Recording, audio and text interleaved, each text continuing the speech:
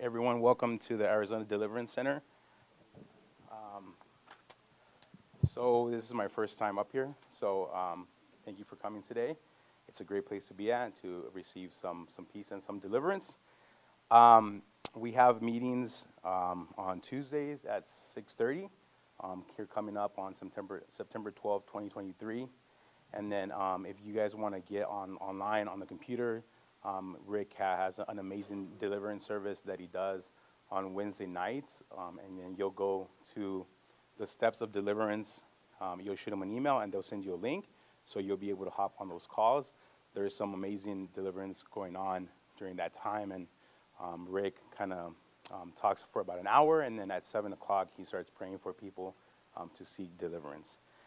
and then, of course, here on Thursdays at seven o'clock there is also um, a message and um, prayer as well. And then, um, so with that being said, I'd like to pray. Heavenly Father, we come here today um, to seek peace and seek deliverance. Lord, uh, bless us with your presence and um, allow Rick to give us a solid message and for us to seek that peace that we so seek, Lord. And I pray that everyone here receives what they're looking for, Father, and I pray that you give Greg the wisdom as you always do, and give them the words that we need to hear. Amen. And now, um, Rick coming up. Amen. Testing, testing, testing. Thanks. Good job. Testing, testing, testing. Hey, people made it through the weather. It's not like we're in Flagstaff where there's three foot of snow. It's just cold and a little rainy. My son's been in a second story guest house, locked in there since Tuesday because he's on crutches and can't put any weight on his foot, can't leave the house. I said, I'll come up Sunday and dig you out. So we're blessed. Well, I want to encourage you because, man, this thing is a battle. Some people it clicks really well with. Some people understand a fight mentality. Sports are good for something. If you've ever played sports, you realize you got to fight for your position. I've seen some uber talented people in college. That boy in the springtime and the summer conditioning, they had it all. Man, they ran like gazelles, they jumped like deer, they lifted all the weights in the world. But when it came down on the field, nobody could figure it out why they couldn't get the job done. And uh, the only thing I could come to a conclusion was it was a lack of focus or it was a lack of belief. Even though you had all these attributes, I don't know why you wouldn't believe. Well, that's what it comes down to in deliverance of those who get set free and those who stay entangled, is believing that God has given you superior strength over the devil. He's given you all power over the devil. Well, we have to use it scripturally. You can't use it out of context. You have, have to use it as it was spoken. And you got to use it by faith.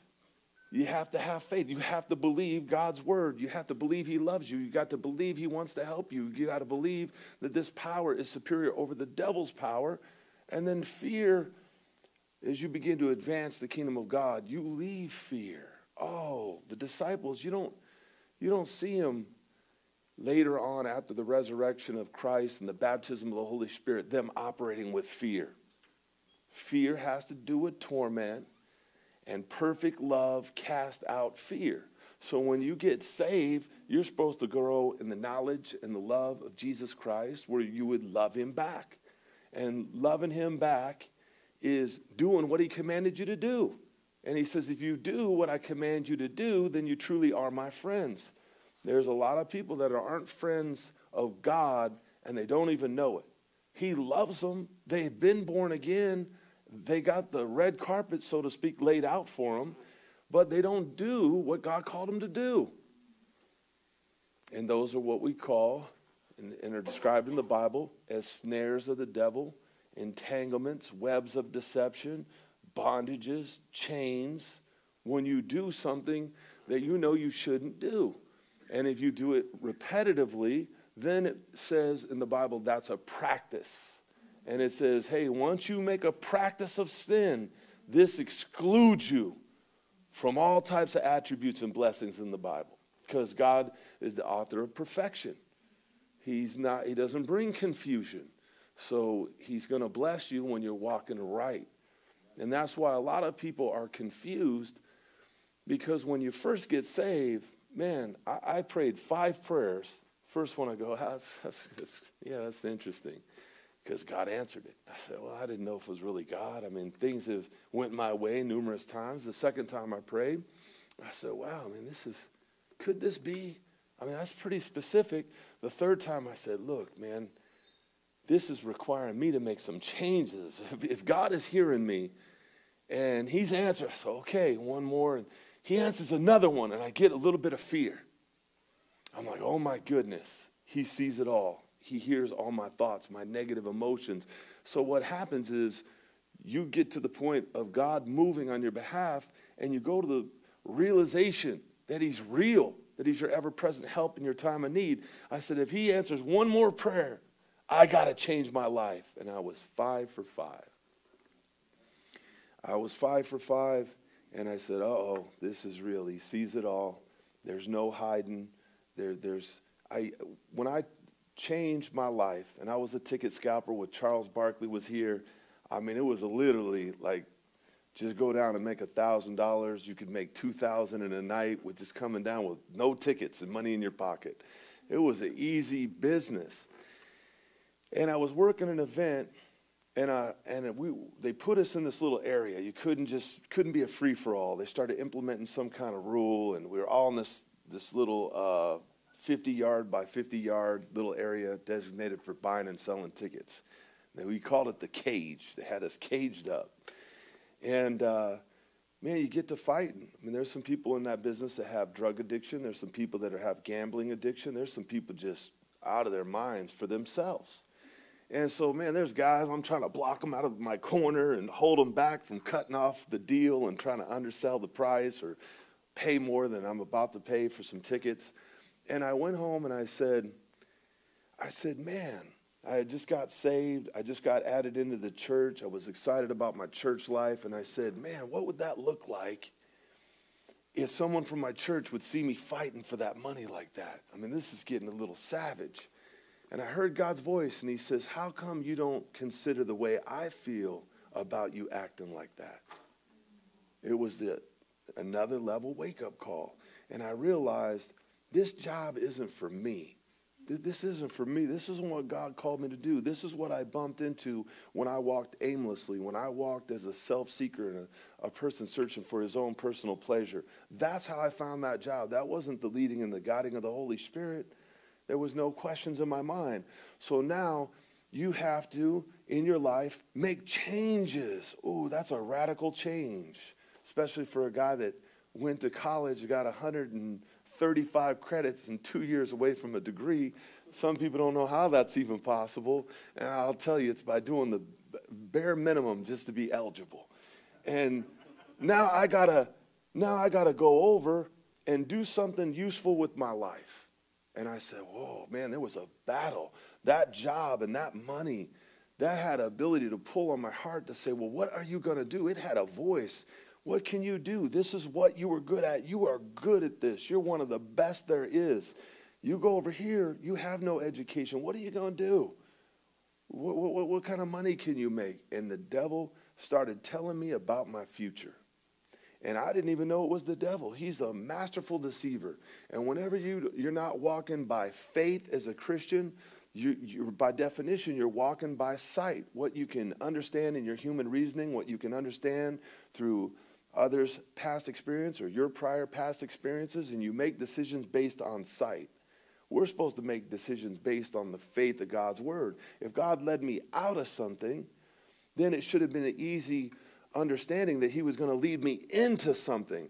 But when you leave something, you have to wrestle you're not wrestling flesh and blood. You're not wrestling yourself. You're wrestling principalities and powers and rulers of darkness and spiritual hosts of wickedness in the heavenly realms. He's wrestling with you so that you don't overcome and fulfill your destiny.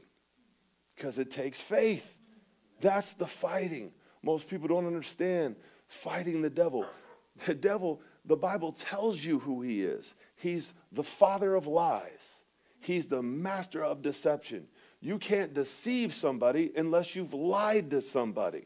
So then he puts a network of lies into your mind so that you can't overcome, so that you can't believe for a victory. And then when spirits get involved, they hyper accentuate everything. They hyper accentuate people's sexuality. I help them all the time. They masturbate two, three times a day. When I was working with the sex offenders downtown, they would say, Hey, look, man, this is a, scan it for any children here. Got children, put your earmuffs on online.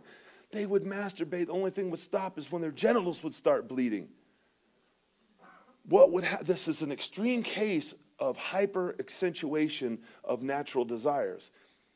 When you're married, you're supposed to unveil and awaken your sexual desires for your husband, for your, your wife, and the two become one flesh, and then you're to keep that special for just you two and undefiled, and it was given by God.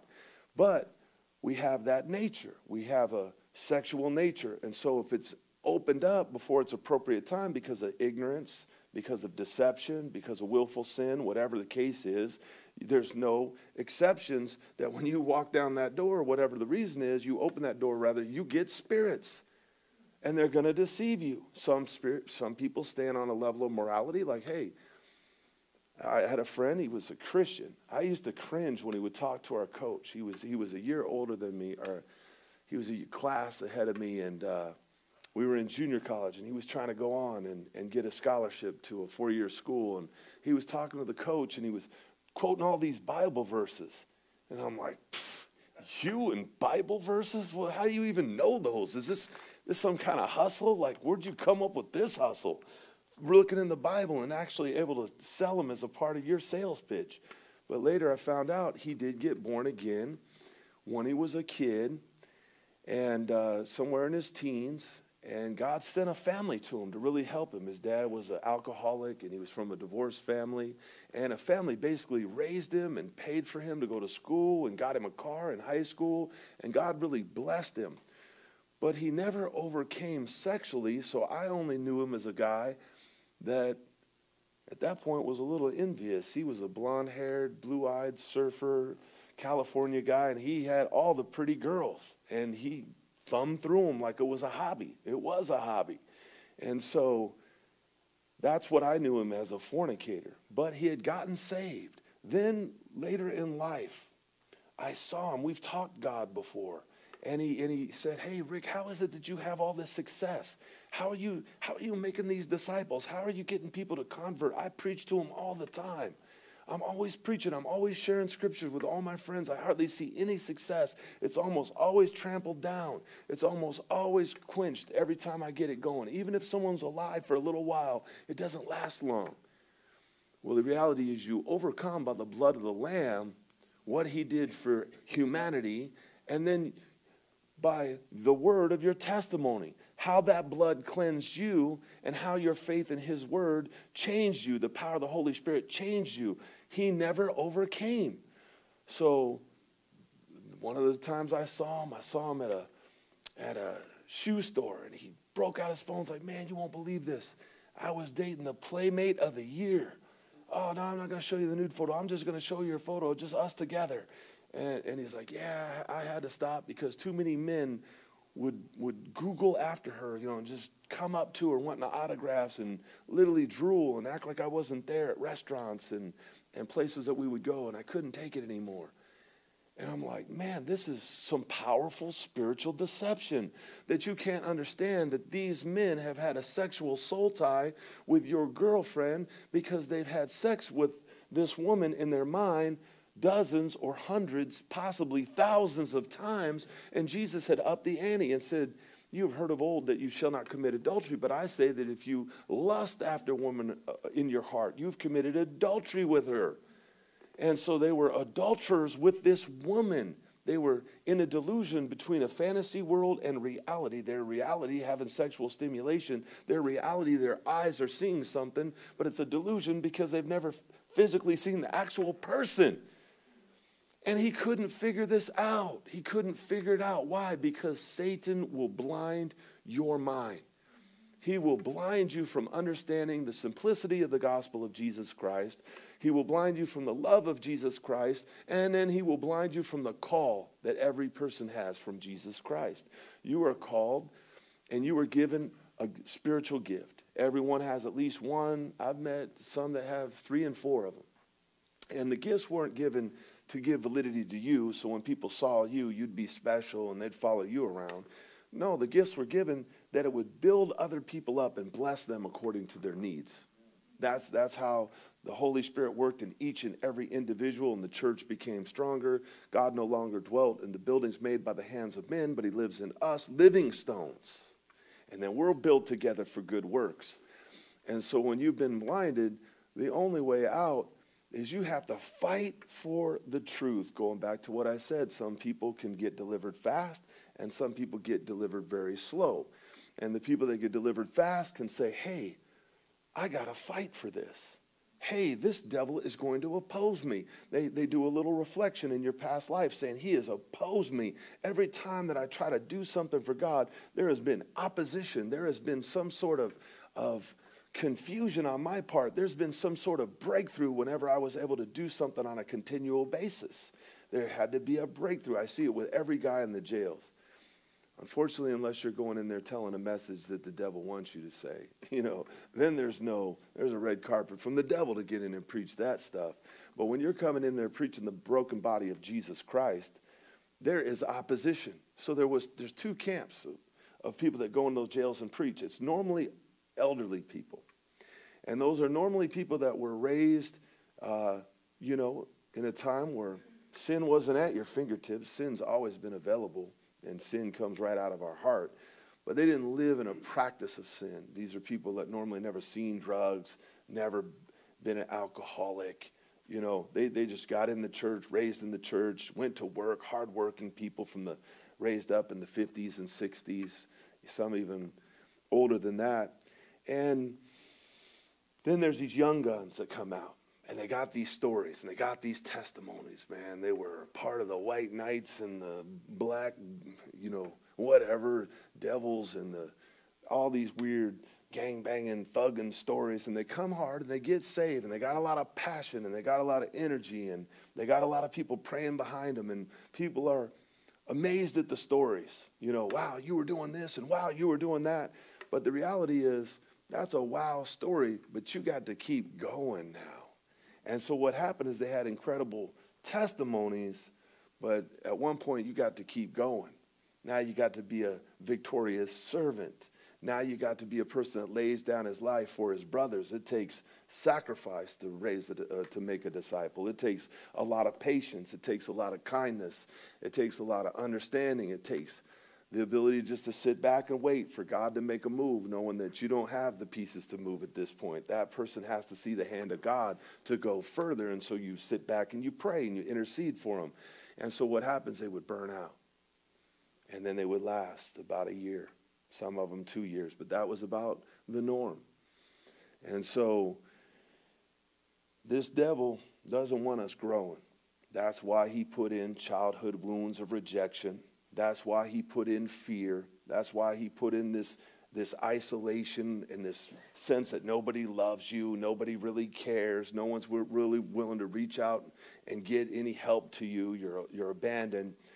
And sometimes it's different, but those people have a hard time growing until you overcome that you're not rejected anymore. You're the beloved of God. You have to realize what the scripture says that, yeah, that sounds like a last place life. I, I had a pretty good life. I had a pretty good life. Any trouble I got into, I, I, I caused it myself. But I've met a lot of people where hell came to breakfast for them. Evil things happened to them at a young age. They got involved in sins that at five and six and seven, I would have never crossed my mind. I, I would have. I, I would have never imagined something like that. And they got introduced into it because the sins of the fathers are passed down to the children, and somehow those spirits were moving and allowed in that house. And so, because that's so traumatic, they have a hard time overcoming because they think who they used to be is who they are now. But the scripture is clear that if anyone is in Christ, behold, he is a new creation. that instantly happens in your spirit, man. It doesn't say it in, instantly happens in your mind. It says you renew your mind according to the word of God. To renew your mind means it needs to operate new. It needs to be able to function biblically. That means you hear the word and you do the word.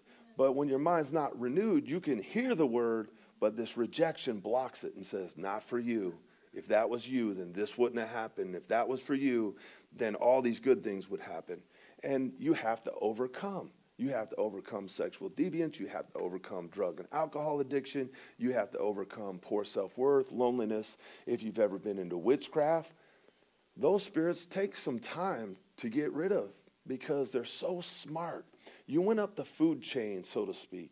You know, if you go down here to the neighborhood bar and, and uh, you've been hitting a punching bag and you're not stone faced drunk, you're going to be probably pretty victorious down there at Hamburger Works. There's not too many formidable foes down there, I would imagine.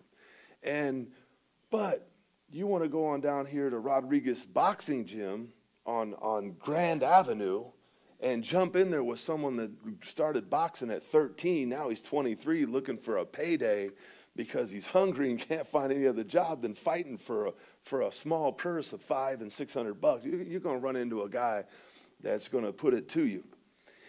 Well, once you go to witchcraft, you, you've went up to the experts. You, you've went, when the New Age, you went to an expert deceiver. I mean, you talk about Satan, he is the masterful deceiver. Then you have demons that are just basic liars. There's simple demons, there's, there's devils of, of religion that just get you caught up. Oh, I can't leave this church. I was raised in this church. This church is my culture. These are my friends. That's a pretty elementary spirit that's going to lock you down when you can see the truth. This is what you were raised with for 15 years, didn't understand anything, had no victory, no signs, wonders, and miracles, never saw one in that church. And now God starts doing miracles. Well, He's opening your eyes to say, hey, you got to overcome those traditions of men. You got to overcome this and what you were indoctrinated in. That's a pretty simple spirit. But when you're going up saying, hey, I want some power, because no one's going to witchcraft unless you want some power, you want some wisdom, you want some insight, you want some physical uh, blessing, something to manifest itself to you that you don't have to work by the sweat of your brow for, that it's just going to come your way. Well, you've went up to an expert, you've went up to some kind of professional deceiver. So now you have to fight through at another level because you got into a fight at a level that you didn't understand. So you got to go and you got to realize I'm fighting here. So if I go down, and I thought I was tough because I, I boxed up some of these drunk golfers that had been golfing all day, drinking at Hamburger Works, and I went down, got beat up down there at uh, at Rodriguez Boxing Gym by some guy who's in it to win it. Well, if I'm fighting him and I'm committed to the fight till I have victory over him, I got to go lay in the groundwork. I better start getting in my conditioning. I better start getting in my strength. I better start getting all the attributes it would take for me to win that victory. So you need to be strong in God. You have to know His word. You have to have people around you praying for you that would stand in agreement with you until you see the victory. And when you get people around you, that's why I said surround yourself with a cloud of great witnesses. So that means you trust them. So when they tell you something, that you got you got to look within those people helped you get delivered. They helped you get healed. Those people have made disciples before. I got to trust them. Out of all the people I've saw and all the people that I've interacted with in my life, these are the people that bear fruit. These are the people, even though it's hard for me to understand and hard to believe because I'm wrestling with something, I got to believe them. They got the scriptures to back it up. They've got past victories in this area. I have to trust them. So that's why in Christianity, you got to know one another and you got to be known by one another. Otherwise, everyone kind of hides in secret. You get to the mega church, how you doing, brother? Stay prayed up. Hallelujah, man. How about those Cardinals? I mean, you got these four or five one-liners. That you work through the crowd, and and maybe you see them at the church banquet once a year, and see them in the child care line when you're set, checking your kids in. But nobody really knows each other. It, it, and that's the way Satan wanted to design. So you would be afraid I didn't want to tell anyone my testimony that used to be a ticket scalper. I was like, that's not going to go over well. There's no sense telling anybody where I've been from. That will only be seen as a negative light, and I'll be put in a certain graph, uh, demographic of people they can trust at what, whatever level I fit in in their minds. I'm not going to tell anybody that I'm struggling when I was trying to find a job and I felt like going back. But what I needed was some encouragement. I needed someone to tell me, uh, hey, I had victory. My brother Tony, he was an engineer. He said, I couldn't find a job for two years. I had a house, I had all these things, and it's not like I could do, do anything else. I've been an engineer for 18 years. And then how God was teaching him faith. God was teaching him how to press in, and he pressed through and found victory.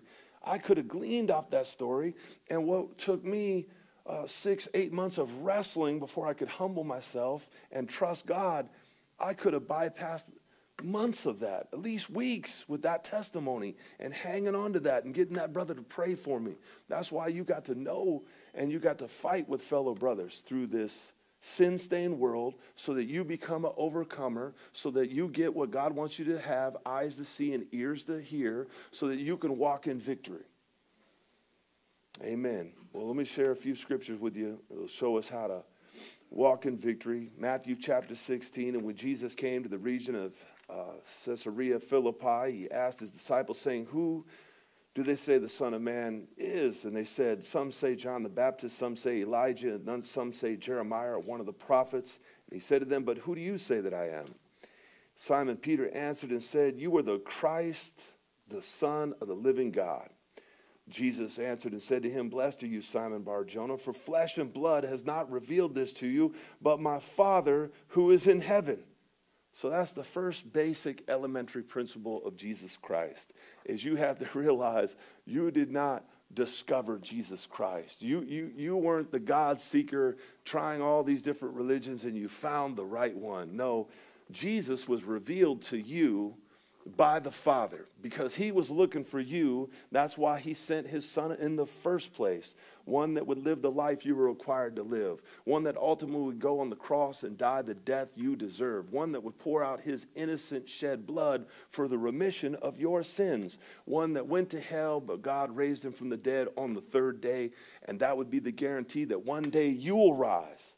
So, with that revelation of who Jesus is, you have to realize when we rise from the dead, we're going to give an account. We're going to give an account for what we did. The Bible says it's so in detail, you'll even give an account for every idle word you spoke. You, you'll, you'll give an account if you gave place to the devil. You'll give an account if the devil put a hold or a snare or put an entanglement on you and you didn't fight through it with the power that he gave you. He gave us the power over the devil's power. Oh, we're going to get to it. Watch this. And then he says this. He says, This was revealed by my Father in heaven. And he says, And I say to you that you are Peter, and on this rock I will build my church. He, he, the rock is Jesus Christ. Peter's not the rock. He said, On this rock, on this fact that Jesus Christ is the Son of the living God. That's the rock. And he says, and I'm going to build my kingdom upon this rock. I'm going to build my church. And it says, the gates of Hades shall not prevail against it. The devil's not going to prevail against what God wants to do. If you come into agreement with what God wants to do in your life, the devil will not prevail over you. Well, when you come into agreement with it, remember, faith has to be working together with action. Because Paul says if you have faith but you don't have any works, that faith grows stagnant, that faith, faith eventually dies. It, it's, it's of no value. So faith with action is believing the Lord. You're being built upon Jesus. You're, you're understanding the revelation of who you are through Christ. You're understanding the power that He gave you. That's the rock. And He says this. And He says, uh, in verse 18. Now I say to you, Peter, that on this rock I'll build my church, and the gates of Hades shall not prevail against it. And I will give you the keys of the kingdom of heaven. The keys, you get the keys for what works. Well, hey, I got five keys. This this building is a little bit hieroglyphics. Uh, you got to have a special key to get in in Kelly's office. You got to have a special key to get in a couple of these doors, but one key works most of them. Can't get into the utility room. Don't know why you can't get in there, but there's keys that work for certain doors. There's certain keys you, you're in possession of them, but they don't work in certain doors. So you got to get revelation from Jesus Christ, how it works. And he's telling you this. He says, I'm going to give you the keys of the kingdom of heaven. And he says, and whatever you bind on earth will be bound in heaven. Whatever you loose on earth will be loosed in heaven. So, first thing you have to understand about this verse is Jesus Christ is the same yesterday, today, and forever. You are not going to change God in any way. You can make him happy, you can please him, you can disappoint him, you can make God angry, but you're not going to change how the kingdom of God works. It works perfectly. You cannot add to perfection. He is perfect in all his ways, all his ways are perfect. The gospel of Jesus Christ is perfect. So when he says that whatever you, the keys of the kingdom of heaven, that whatever you bind on earth is bound in heaven, that's telling you that's a Pharisee term. The Sadducees and the Pharisees used the term when you came into the synagogue, when you came into the house of God, if it was bound in the temple, it wasn't permitted. Jesus was basically saying, hey, this money changing, this money exchange, this is bound in the temple of God. This livestock exchange, this is bound in the temple of God. He was basically saying, hey, you've made my father's house a den of thieves. It was not permitted. Whatever was loosed in heaven is loosed on earth. And so, what was permitted was the giving of alms and the worship and the prayers and the reading of the, of, of the law and the prophets. All these things, all these things were, were loosed in the temple of God. So you have the authority now with these keys. The key is the knowledge of God's will. I want no man to perish, but every man come to the knowledge of Jesus and be saved. I give you the keys that if any man be in Christ, he, behold, he is a new creation. This thing started with me, this thing grows with me, this thing ends with me until you meet me face to face. These are the keys that you keep going. You're to have a heavenly perspective. You're to store up your riches, not on earth, but in heaven and to have a understanding that hey if you build your, your anything outside of the rock then you're building on sand. And when you build anything on sand the devil has the legal right to come send a storm and to beat against the house and crash it down. And so a lot of times you've crashed in your life over and over again. Your ministries crashed relationships have crashed opportunities have crashed finances have crashed. You have to go back to the way God wants you to do it. These are the keys. He shows you God loves a cheerful giver. Do everything with prayers and supplications. The, the plans of many advisors, these plans will succeed. When you take things into your own mind and your own power, this is building upon the sand. These are, these are keys of the kingdom of heaven. And then you wonder why things keep going bad. You, you live in a fornication. Well, we lo- I loved Betty. We're, we're going to get me and Betty. We're, we're like married but you're not married. So when you're having sex, you're living in fornication. You're doing it on a regular basis. You're living in sin. God has to chastise you. God has to discipline you because He loves you. So your joy has to crash at one point. It doesn't crash instantly because that's called mercy and that's called grace. And His kindness is supposed to lead us to repentance. But when you have spirits, the spirits harden your heart and they make you rebellious against God so that you fight. Why can't I do this? I love her. Hey, we've already done it a hundred times. What's, what's another hundred? I mean, before God's eyes, it's all sin. Hey, he died for me. His blood will cover this. No, now you're beginning to believe a lie. You're beginning to walk out the lie, and lie's manifestation is make you delusional. So God has to break these delusions in your mind and in your life by having it crash down. And people, why have you left me, Lord? Guy came in, I talked about him. He hasn't been back. He didn't like me one bit. He came in here and he goes, How come I can't feel God? And he, I said, What kind of life you live? He goes, Well, I quit watching porn for two months. I said, How long you watch porn? 20 years? How often you do it? Once a year, once a month, once a week, once a day, once a day? And I said, How long did this last? About 12 years after I got saved. I said, For 12 years? God was that merciful and he's blessed your finances. I, I could see he was blessed. He had an $80,000 truck, 100000 probably. And he goes, I don't care about money. I'm like, He was already confrontational. Wasn't talking about your money. I was trying to use that as an analogy. He's blessed your money. He probably is a tither, a giver, an offer of, of, of gifts to, to people in need. So there's a protection over what God gave him. But now this came crashing down. Why? Because he had 13 years. I couldn't believe the mercy. I said, This is incredible that you didn't go to the mental hospital before this. You don't know how many times he's been telling you and warning you. He goes, Yeah, I know. I, I used to repent. I used to quit. But then internet porn became so powerful. And it was a delusion. God has to tear down your delusions. This is the mercy of God for him to tear them down. He told Jeremiah, he says, You got to pull down, you got to root out, you got to you got to tear down, you got to throw out, you, you got to get rid of stuff. And I said, This is what you got to do. And he says, Okay. And he bowed his head, like, Kick it out of me.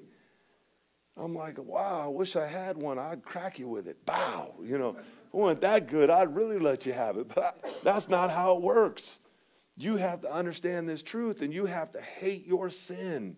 If you don't hate it, then you haven't asked God to hate it. He'll, let, he'll help you. He would never ask you to do anything that He wouldn't give you Holy Spirit power to do. And He said, Love what I love and hate what I hate. If you can't love people and forgive people, you need to ask God and you need to ask Him to open your eyes about the incredible forgiveness He's given you and the mercy He's given you.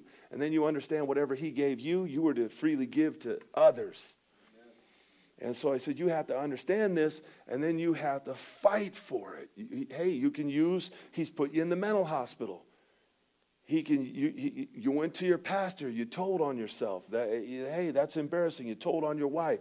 Hey you, you, this sin is embarrassing.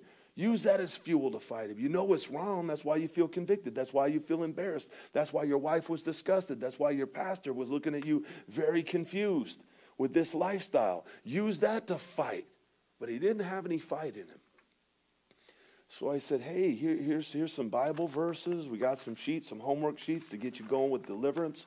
And we said, hey, you can take these home you can put them into action. You can be back here on Thursday and you can be delivered. Oh, man, I'm going camping this weekend. Literally, that's what he said. I said, man, I don't know. You know, hey, I'm going to tell you what to do, but your family knows what's going on.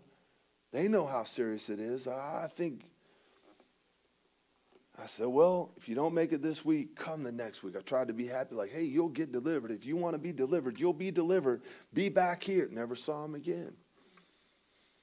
And then the, then the spirits are so smart. You got to be able to catch them. I came from work. I was getting a little tired. It was an hour into it. I put my feet up on the desk. He goes, Man, I don't like your, your, your posture. I don't like the way you're sitting. I don't like the way you're talking to me. I said, Sir, you're on my time. I said, I came down here out of the kindness of my heart. So, what is it that you do? He said, I work on boilers.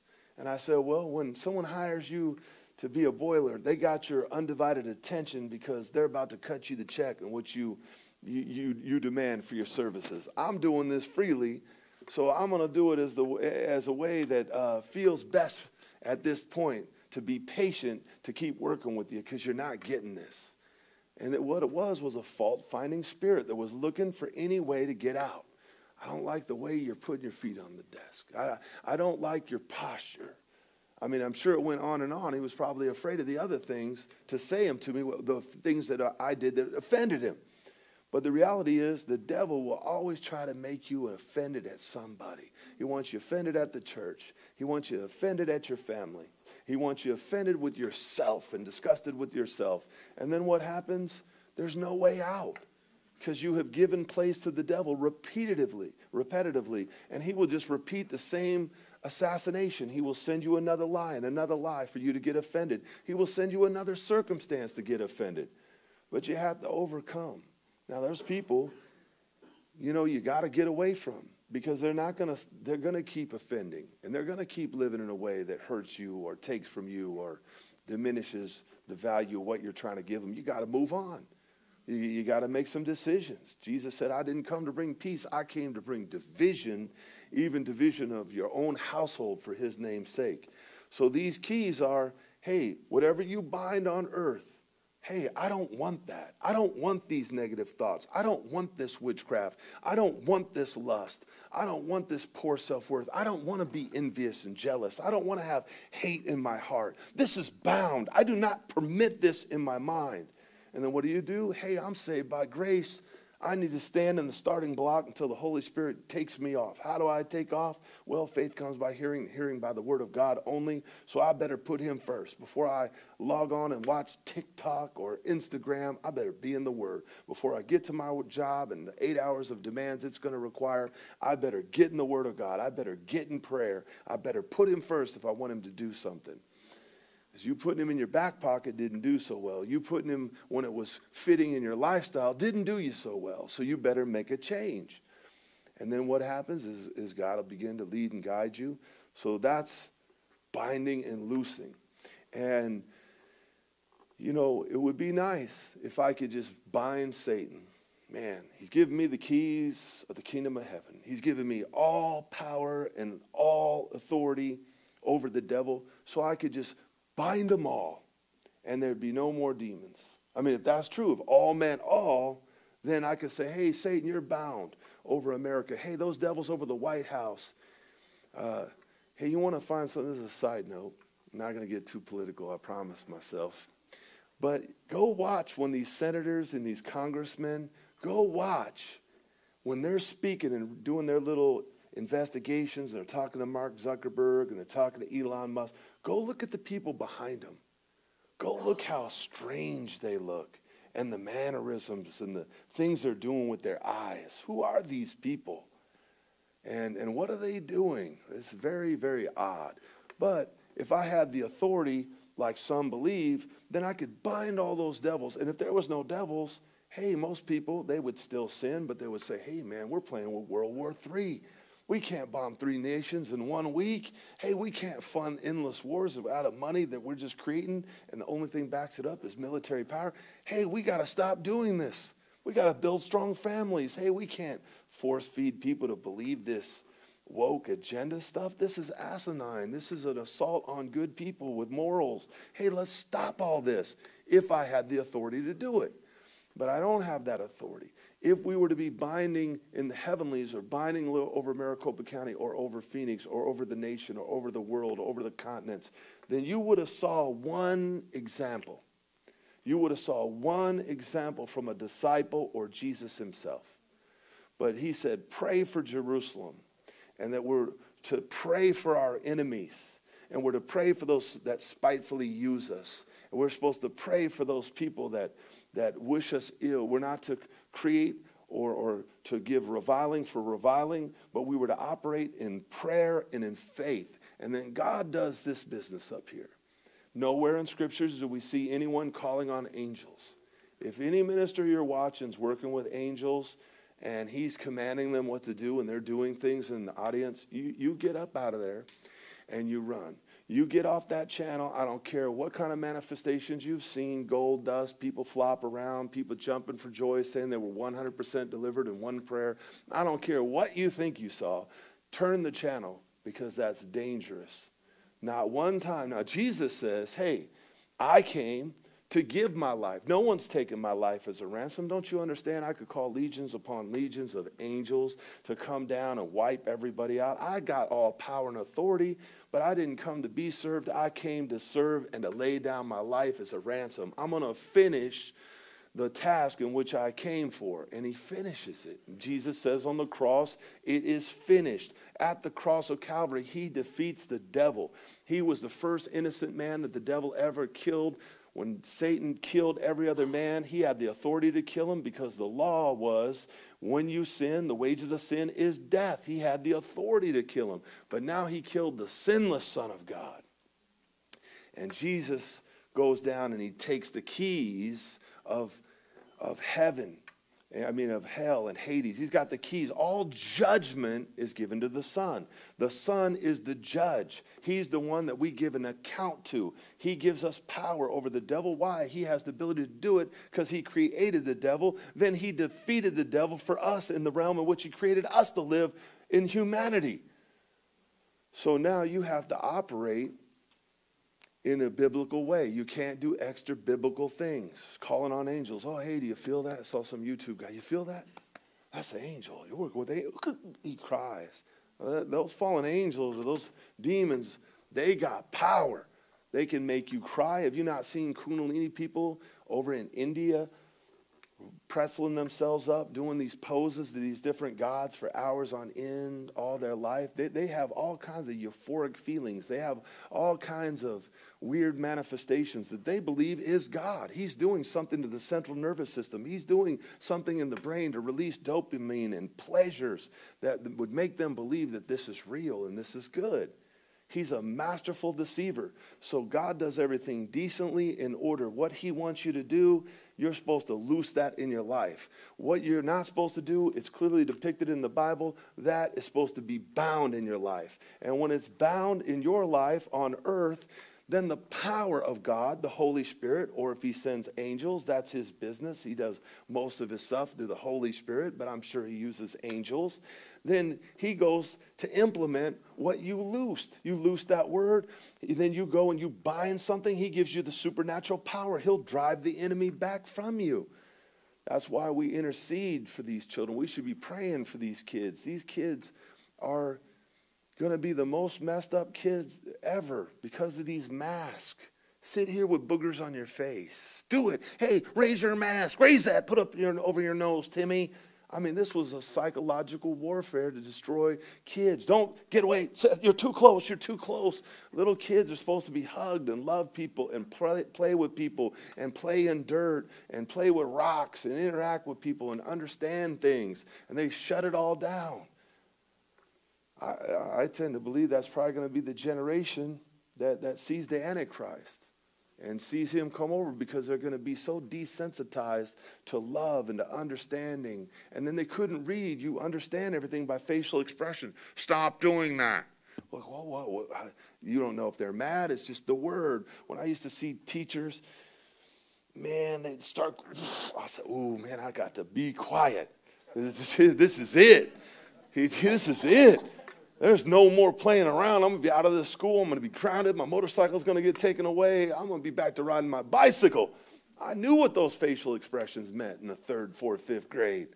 And you learn to heed and understand people, and, and you learn to be quiet when it's time to be quiet. You learn through facial expressions it was okay to speak. They, you couldn't see it.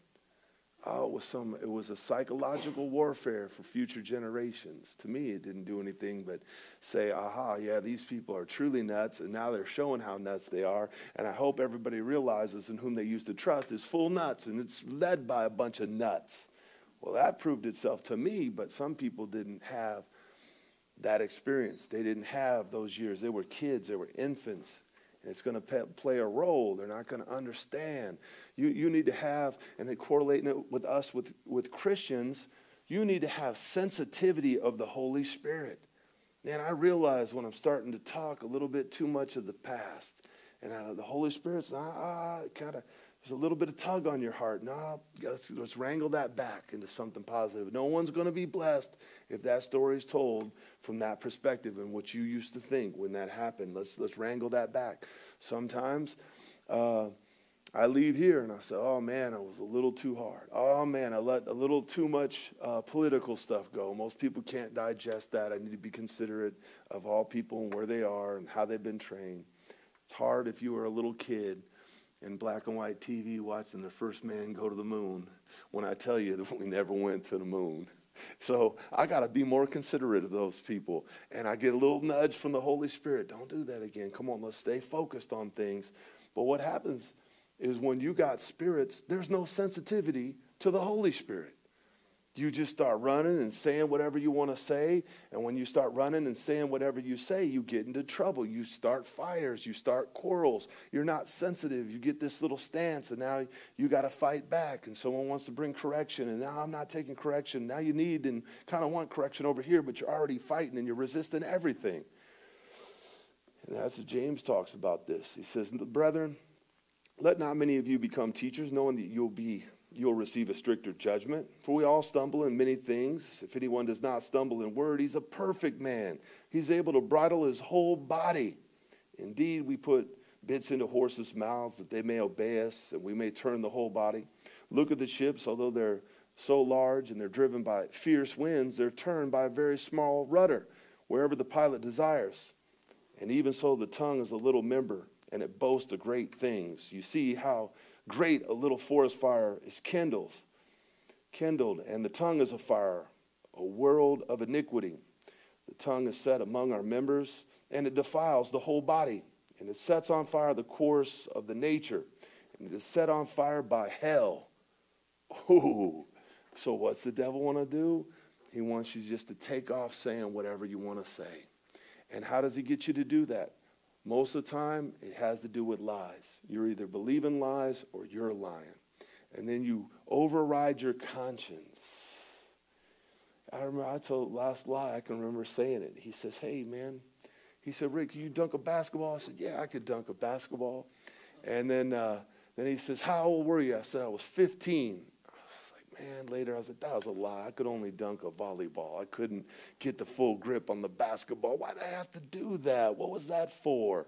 So if you don't heed the convictions of telling lies, because lies will pop out of you. Sometimes they're self justified. Maybe you've said the story before and it was a lie, it just comes out. But if you don't heed the Holy Spirit, then you're overriding the conviction and you're on your own. And now the tongue is just running. It's steering you. It's just a little member, but it's steering and navigating your life. It's a little spark, and boom, it's catching things on fire right and left. So you have to go back to the basics is you got to have a conviction of the Holy Spirit. If you have conviction of the Holy Spirit, then you can control your tongue. But the manifestation of your tongue just saying any old thing and fighting and quarreling and telling stories and exaggerating things, these are all done by a, by a spiritual influence that's got you to push back your conscience. I work with the, this guy, and his conscience is gone. He's born again, and uh, he wants to open a medical marijuana facility. Man, that's you'd be a part. You'd have so much blood on your hands, man. You'd get demons like you you you have no idea. You're going to give schizophrenia to people. You're going to put fear in people and it's going to it takes all the ambitions you have. Oh, why do you think they're letting in the third world? To come and do the work that the pot smoking porn watching kids can't do. They can't do it. They're too lazy. They're too drunk with the seductions of this world. They're looking for the easy hustle. They're looking for cryptocurrency millions. But they got to have someone that can put the boots on the ground and work by the sweat of their brow to get this thing done. So they got to go around the world to get them because this generation got lost with the seductions of sin. And here he is wanting to promote that, and he's born again. I'm saying, man, you got to let that go, man. You got to. You got a contractor license. You, you, you speak fluent Spanish. I mean, you got to take advantage of this, man. You, you, you got a good eye for detail. You know how to do basically every trade. You need to work this. This is what God gave you. This is your blessing but he can't maximize the blessing because the blessing is being infiltrated with a satanic delusion. He's doing that bookstore right there. And I said, Look, man, why, why, why you want to keep juicing up these prices, bro? This is the house of God. His wife got delivered at the old building. And thank God he got rid of whatever spirit she had. She ain't living with them no more. You know this is the house of God. I said, You walk in, you can have a nice business card right on there people want a kitchen, that basically a bookstore is going to be like a new kitchen and the Corian tops.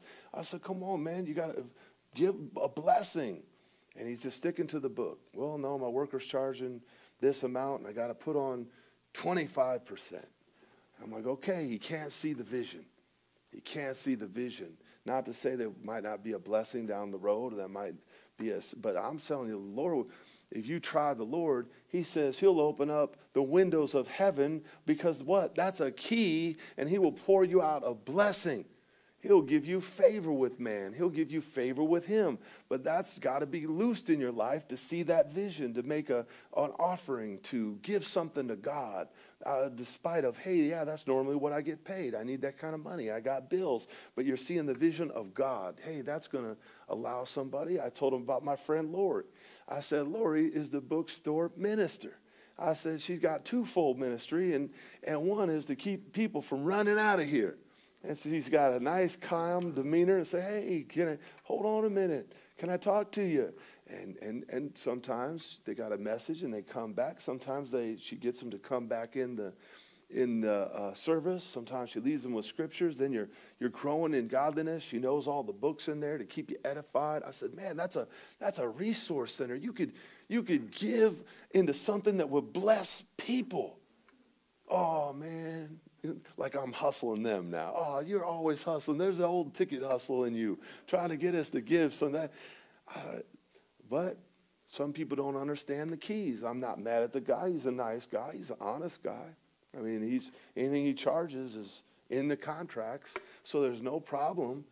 But what I'm trying to tell you is there's keys of the kingdom of heaven. Sinners don't have the keys of the kingdom of heaven. They can't see them. They're spiritually discerned. They have no spiritual discernment because they're spiritually dead. The minute you're born again, you, your spirit man is alive and Christ is now dwelling with you. And he says, I will now manifest myself to them. You will see the manifestation of having the keys of the kingdom of heaven, opening doors that no man can open. You'll see the power as you have the keys to shut a door that no man can shut. Lord, help me. I'm tired of this. I'm tired of sinning. I'm tired of backsliding. I'm tired of busted relationships. If I got to be single all my life, it is what it is. I'm going to trust you, but I cannot live in fornication. I cannot be unequally yoked again with a non believer. I cannot do it. And God gives you the power according to your will, and He shuts it. I don't know. He, he could have angels walking beside you to shut that down. He could just have Holy Spirit power that just went, whoo, and the devil knows you can't cross that line. I don't know how he does it. I just know he does it. And he does it according to what you want. When you want something that's in God's will, he'll do it. He's not a respecter of persons. But why you can't have your breakthrough is because you have to be faithful. You have to have some action. You have to get rid of some doubt, unbelief, some fear, some confusion, some rejection. There's something that you have to cut off so that you can move forward. Cut off the sin that so easily entangles that you could run the race to win the prize. That's the move according to what God called you to do. Verse 13 Who is wise and understanding among you? So he says, if you're wise and if you're understanding, he said, let him show it by his good conduct, that his works are done in meekness and wisdom. Boy, that, that excludes about 50% of YouTube ministers. It says meekness and wisdom. Then it goes on, he says, but if you're bitter, if you have bitter envy, you're self seeking, so, a bitter, envious person, he's neck deep in sin. Self seeking, he's just deceived. He can think he's doing it for God, he can think he's doing it on the right path. He says, You're deceived in your hearts. And do not boast and lie against the truth. This wisdom doesn't descend from above, but it's first earthly. That's what you saw. That's how many people operate. And then it's sensual because you saw it. It appealed to your flesh it was fleshly, and ultimately it is demonic. It's from demons. The devil deceives the whole world. The whole world lies under the sway of the wicked one. Man, the biggest sway you ever see, there's two big sways that you see in people going from junior high to high school. Man, I saw people just change. I saw this one kid, I'd say his name, but maybe I get blessed and he watches me on YouTube. But man, he was he was my friend. But it was okay. We're a little dorky and we don't have the coolest clothes and the five pair of sneakers. We were the guys that got one the beginning of the season and another another pair uh, for Christmas. And man, he just became Mr. Cool Kid. Man, he had a different walk to him. I mean, his chest was out a little more, and he cut off all his friends that wouldn't make him popular. I said, well, that's that's odd. I said, man, these guys, we loved you for who you were. You had friends. Well, we weren't good enough friends. And then when you see women, oh, women, girls that were pure sexually, had never had any sexual encounters, and then they go to college. Then they have a handful of lovers in one semester. Like, ooh, like, I don't know if that's why that is no longer wifey material for me. He done taken a road of no return in my mind, but hey, it was something that just got open. It was a door that got open. Why? It was socially acceptable. Oh, it was now the blind leading the blind, the, the, the sophomores and the juniors, the people who had been at it for a while, the seniors. They lived in this lifestyle. So, where did this type of wisdom come? It was walking around on the earth. It was happening. It was socially acceptable. It wasn't socially acceptable in Nebraska in 1980s. That was not a good reputation. And I didn't know any girl in high school that had a bad reputation from having five lovers. I didn't know one because people had a sense of morality and right from wrong, and they were, they were able to hold on because that's the way basically that high school ran. But then you went to college, and it ran differently, and it ran sensual. And since it was operating on this earth and it appealed to their sensuality, they opened that door, walked in it, and it was demonic. And it was demonic. And you go, those you can look at the statistics. When you've had sex, a woman with over 10 men, they go through divorces like thumbing through them. Why? Because when you bond with a human being, and even if you, you don't love them, you're, you're coming together. The two come together. Paul said, Should I unite with, my heart, with a harlot? He said, Certainly not, because he who's joined with a harlot is one in spirit. Oh, there's a spiritual connection. So then there's a spiritual deposit, there's a spiritual depletion. And pretty soon, hey, those relationships come with a lot of disappointments, a lot of lies, a lot of betrayal, a lot of heartbreaks, a lot of failure. And so a part gets broken off. The lack of trust, the lack of empathy, the lack of compassion, it gets rooted out. And so now you finally find someone you love and you find people, I just can't trust my husband.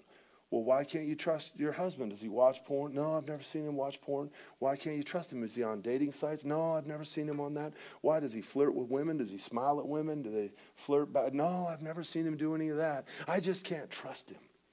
No, it's you can't trust because a part of you was ripped out, and that demonic spirit is telling you the problem is your husband. Ah, when he's not what you're accusing him of, and you admit it with your own words and the own testimony of the life that you live together. It's a blame shifting spirit causing division, trying to start fires, trying to drive things away. So when you pick up spirits, they're going to have a negative repercussion. That's how it works. You don't just say, hey, I'm slept with a hundred chicks. I'm good. Hey, I'm looking for someone in the church. No.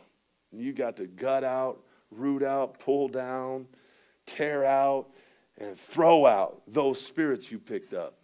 Because 100% you picked up numerous, hundreds of spirits, if not thousands, sleeping with all those women. And from my experience, it gets to be about the number 20 to the number 50, and a man gets a witch. And, uh, you know, I'm not trying to be hard on women, but women are prone to witchcraft. There is far more witches than there are warlocks. Those are facts.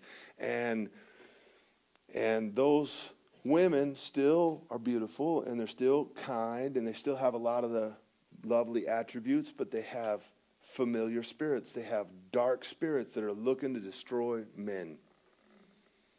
And they transfer right into men. And when a Christian, especially a minister, sleeps with a, with a witch, he often loses his mind.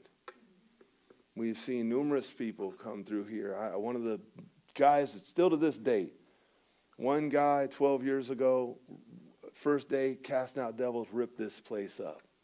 You would have thought we, we, we flew in some vet deliverance minister from North Carolina. I mean, he tore this place up. I mean, he was on these demons and they were flying out. And then he slept with a witch. And it took a few other women that he was sleeping with before Satan had the authority to send him a witch. But down that road, and he had already lived with that lifestyle of those dozens upon dozens of lovers, and then goes back to the old sin, something nastier is waiting down uh, down that road because what's happening you're burning up grace you're burning up mercy and so god has to get your attention. So hey that's a long fight. The bible says he who's been sick in his body is done with sin. Oh because he prayed the congregation prayed, and they didn't have surgeries like they have now, and organ transplants, and 8 billion medications, man, you needed God to come through. And when God came through and you were close to death, because you could die of many, many diseases back in those days, He said, when you've been through something like that and you've wrestled through that, you are done with sin. He's speaking a matter of fact. So when someone comes through a fornication and they get super sick like that, if they make it out, they're done with it. But some don't make it out. Some don't make it out. You, they played, they, they went up the food chain with something dark. I remember he was calling me. And uh, he would call me with these strange manifestations, you know, and say the, I mean, these stories are unbelievable. I mean, if I, t- I, I, I could write a book about this guy in, in one year of, dealing with them. And uh, he goes, Yeah, man, this girl in my apartment, I found out she's a witch, and man, you know, she's going to have her coven leader call me. So I said, Yeah, I want to talk to her. I was going to shape her up with the Bible. And dude, you won't believe it. They believe everything we believe. I said, Oh, no, no, no, no. They incorporate everything you say they believe. It's not what they, the, what they believe is the problem, it's what they do. They believe that, they believe this, and therefore they do that. And I said, That is what you need to be looking at. A good tree does not bear bad fruit, and a bad tree does not bear good fruit. Thus, by the fruits they produce, you shall know them. And he didn't heed the warning and got together with her. Oh, he came back to haunt me. He burnt my building down. Thank God the firemen got there, and I only had to buy a new $500 door when they busted the door down and, and about $5,000 worth of soot damage and all kinds of. I was hiring jail inmates for months to come and just mop the soot off the roof and the walls. But hey, eh, this life ain't easy. And when people that you love and people you invest in and people that you see that have incredible gifts from God go and piss it all down the drain and go to the dark side, it, it's, it's, it's a heartbreaker. But you got to keep going. You got to keep going. You got to look for the next one. And Jesus said to the disciples, hey, you got to kick that dust off your feet. You got to let it go. And then you got to go look for the, for the next person with the same attitude as when you found that person and they were doing well. But what happens is the devil hardens people's hearts. So my buddy, when he was telling me, going back to him, the guy that lived in constant fornication, he said, uh, hey, um, you know, the, these are hard, no one listens. And you know what? Over time, you stop doing it. You stop preaching. You stop sharing. You stop expecting. You stop living for the Lord and advancing the kingdom. That's what the devil wants you to do. He wants you to stop. He wants you to quit. But the reality is, we don't quit. We got to regroup. We got to regroup and we got to stand on the word. And then we got to walk it out hey, it's hard. I, I remember one time the Holy Spirit fell on me. And this guy was an incredible preacher from Jamaica, man. He was on another, he was a he was a beachy. That, that's like somewhere in between a Mennonite and Amish. His beard, he only grew it on his neck. One of those guys. He had the, but man, he had power and he had authority of the Holy Spirit, and he believed every word in that scripture. And I got a touch from God, and I used to sell sculptures, sports sculptures, and I sold them to the Suns. I sold them to all these pro athletes and, and uh, sports bars. And God told me it was idolatry. And I, threw, I started throwing them out. And I started throwing them out of my house. I, first, I started setting them gently. Then I started throwing $4,500 sculptures. Sold one to Eric Swann, six time Pro Bowl guy. He got kicked. Hey, thanks, appreciate it. He got kicked out of the or he got uh, cut from the NFL. He didn't come and get the rest of it. I threw his in the trash. He had a three year window to get out, maybe it was a little less time at that one. I threw it in the trash. I tossed all this. But then the next day, and I had all this adrenaline, I had all this excitement. God was with me because then I went in, I was about to throw all my kids' little toys away. They had little He Man and all that. And the Lord, I heard his voice. This is enough for today. This is enough. So he was going to teach me discernment. But I woke up the next day and I was myself. And I'm like, but now the money that I was going to get, the money I invest, that was gone. And I said, hey, I can't look back. I can't look out there. I can't go back and get that. I, I got to draw the line in the sand and I got to move forward.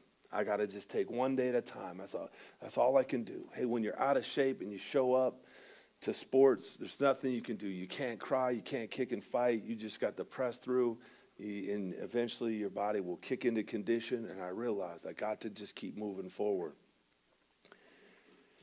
And so, Proverbs chapter 20, 21, he says, Where there is no wood, the fire goes out.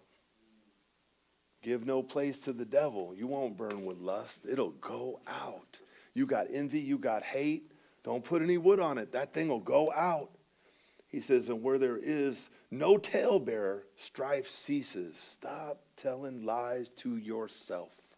You're not good enough. You're not loved. God doesn't care. There's no mercy for you. It's too late. You got to stop lying to yourself, and the strife will cease. As charcoal is to burning coals, as wood to fire, so is a contentious man to kindle strife. So we're not going to do that. That's what we're not going to do. That's going to be bound in your life from this point on. We all know Ephesians 6, and uh, is the go to in, in, uh, in deliverance. So the principalities, the powers, the rulers of darkness, the spiritual host of wickedness in the heavenly realms, what they're doing, their first plan of attack, you can see it when Jesus is interacting with Satan in the wilderness, and he comes to him and he says, If you be the Son of God. Well, he knows who he is. He knows that all the demons knew. They started throwing a fit when he would show up in the temples. And they said, Well, what do you, we know who you are, the Son of God. What have you come to do? Torment us before the appointed time? He, Satan knew who he was, but he does what he does. So Jesus is telling on him, If you be the Son of God, tell the stone to be bread. Hey, you're the Son of God. Throw yourself down. God will pick you up, at least you dash your foot on a stone. Hey, I'll tell you what, you don't need to die for the people. Bow your knee, I'll give them to you. So Jesus was loosing the word of God. It is written, Man shall not live off bread alone, but every word that proceeds from the mouth of God. It is written, You shall not put the Lord your God to the test. It is written, You shall serve no other gods, but serve God alone. So he's standing on the word of God. He's loosing it. He's binding the devil by definition of loosing the word of God. He doesn't have to say, Hey, I rebuke you, shut your mouth, you're an offense to me, I hate your guts. No, how he how he binds him is by loosing the word of God. And that advances him.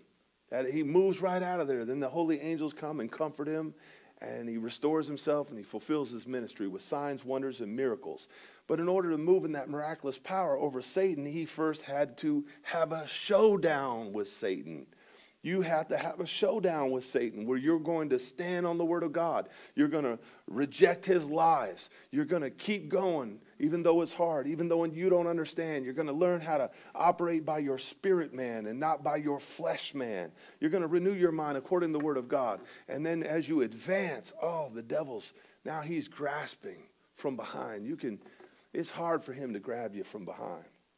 But hey, if you're navigating getting pulled left and right into sin and temptations, you're going to continually run into him. If you can't control your tongue, you're going to continually run into him. If you can't take your thoughts captive, you're going to continually run into him. So once Satan works with the principalities and the powers and all these forces, their goal, the first thing they do is they're working with the wiles, the lies. If you be the Son of God. Did God really say you shouldn't eat this fruit? Oh, surely you won't die. That's his power. By the time he's moving you around and kundaliniing you around and gyrating you and getting you doing money dances and money coming and sowing seeds to get a hundredfold blessing back, he riddled you with lies. You were buckshot over and over and over with lies for you to walk out and believe those deceptions. So he's going to come with all this doubt. Those are the wiles. And if you don't identify his voice, you, you, can't beat the devil. But the devil sounds like you. He's a masterful deceiver. He sounds like someone who cussed you out. And that voice from your harsh father Rick, what are you doing? My dad used to clench his teeth. Bang, hit stuff right all the time. And, uh, well, if I would let that shock me, oh man, I'm no good. I always make everybody mad. Well, I did have a track record of cracking people. I used to, I, have cracked a few teachers and I thought it was fun, you know, just to poke and poke and poke and disrupt the class until they would explode. And, uh, well, then they'd go crazy and, and they'd yell and then I'd be in the doghouse. Then, I, then I'd be in special ed in this class. And, and I already heard every time I went in there when I first went, hey, you're stupid. You're a retard being in there. I would hear it over and over again. Well, if I went back and every time I'm trying to do something new or trying to operate as a, as a man of God or minister the word of God or help somebody, if I listened to that voice, that voice would have the legal right to come at me over and over again because I gave place to the voice, which is demonic. So I forget the things which are behind. I'm not trying to antagonize people. I'm not trying to ruin my opportunity in school anymore, in education. I'm trying to excel. I'm trying to grow. So I'm forgetting what's behind. Mercy and grace has covered those sins. I've confessed them. And now I'm being shaped and molded by the hand of God Himself into the image of Jesus day by day through His mercy and by His grace. So you got to move on. And so, the wiles of the devil, the door has to be shut. My sheep know my voice, and the voice of another they will not follow. It's not the distinction. I know my wife's voice, my daughter's voice, my son's voice. I'm not confused. Although I am a little bit now, my daughter's getting older. She sounds a little like my wife on the phone when I'm on speakerphone. And I've called her my wife before, and hey, when you coming home? I'm at school. What are you talking about? So it's not the tone of the voice, it's not the sound of the voice, it's what the voice is saying. You have to understand the accuser. You have to understand the enticer. You have to understand the enemy that's trying to twist the word of God. And then you understand God's word because you're in God's word. And the Holy Spirit comes to quicken your mind, to teach you and remind you of everything that He spoke and you're starting to operate in the power of God. You're beginning to walk in victory. And then you can see when there's something demonic. They will, they will make some moves. And you'll go, man, I need some deliverance. He really tried that. Man, I even felt a tug in my mind. Man, that, that lie seemed believable for a second. That's a demonic spirit. I got to get that thing out of there. He'll tell on himself. But if you haven't drawn the line in the sand to bind and to loose, to stand on the truth and advance, then you'll never really recognize him. He'll continually just to pillage and pick at you piece by piece, day by day, little by little, until he erodes your life, takes away your Christian destiny, and, uh, and that would be very sad. The wiles of the devil, his goal is to come in and have a place. A place. Now he's operating from the inside. It says, give no place to the devil. Once he goes through the wiles and gets a place, now he gets a hold. Now you'll find yourself being, hey, I said I wasn't going to drink. I, I said I wasn't going to watch porn. And then pretty soon, if you don't stop him at the hold, he gets a stronghold. And now you don't want to do something. And man, why did I do this? I had no plans to do that. And you're doing it. That's the stronghold. You don't stop him there, he's going to bring you down into oppression. Oppression is very sad. That's where most people get broke because you see the blessings. They're coming to your friends, they're coming to your family, they're coming to your coworkers, and you're praying for them, you're reaching out, but they always just keep coming by you. If you don't stop him when you're oppressed, he'll push you down to another level and he will bring you into or oppression, then he'll bring you down to depression. A depressed person doesn't even reach out anymore. They're, they're, they're not even making moves for God anymore. They're just, they're just complacent with the beating. If you don't stop them at depression, the ultimate goal is deception. And at that point, no one can help you because you're deceived. You don't know truth from a lie. You can't tell the difference anymore. So the devil, it takes him a while to bring someone down to that level.